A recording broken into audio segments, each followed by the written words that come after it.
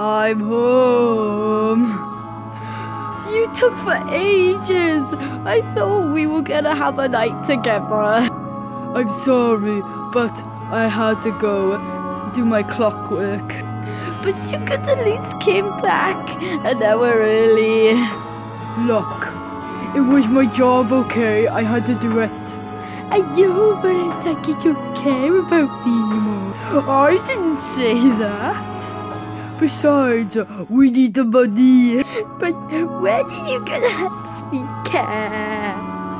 I cared for my whole life. No, you did not.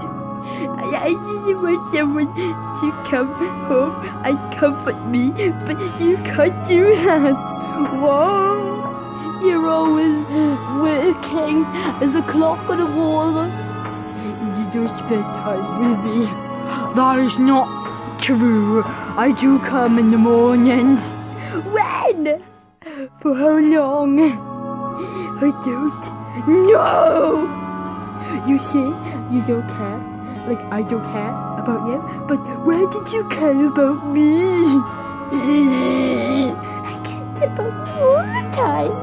Correct. You really do like me. Oh!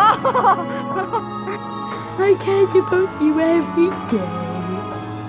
And do you care about me? No.